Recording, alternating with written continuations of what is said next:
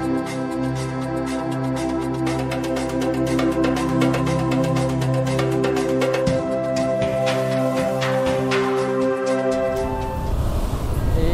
Pak Salam pakai sepatu. Assalamualaikum warahmatullahi wabarakatuh. Apa kabar sobat kuliner, pencinta kuliner, pencinta jajanan makanan dan minuman ya, yang doyan jajan, yang doyan ngemil, yang suka eksplor makanan. Oke, saya berada di Jalan Raya Pekayon ya.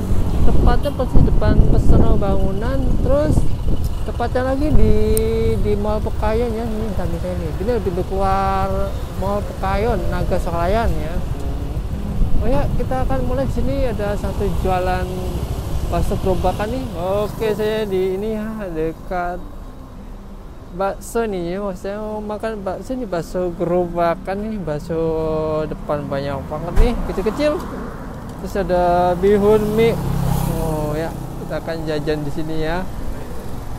Saya mau jajan. Ya, Pak De, selamat siang De mau beli bakso Pak De satu. Ini berapaan Pak De? Jeban boleh kan nggak Pak De? Oh, Jeban boleh? depan boleh. Oh, boleh. Boleh.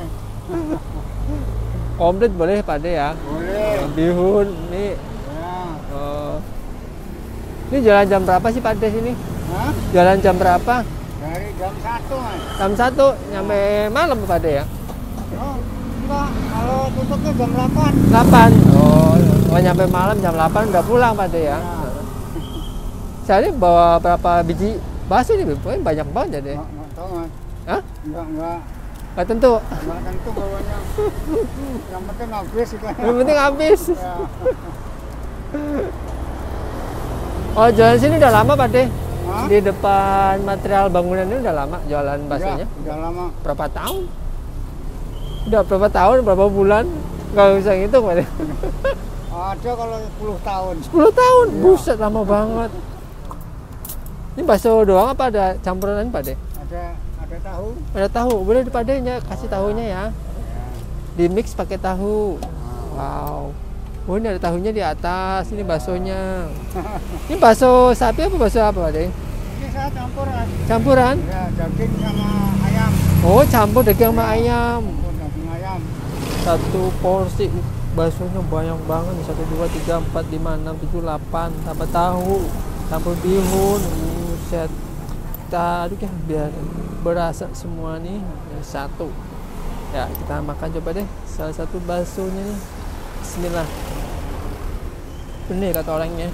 Ini berasa sapi, daging sapi sama daging ayam. Nyampur di satu beda banget deh.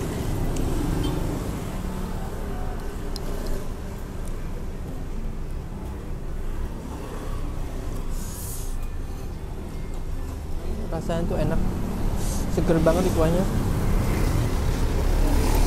Terus baksonya bener-bener lembut nggak terlalu kerasnya. Porsinya banyak. Pokoknya mantul deh. Adu dengan bakso lain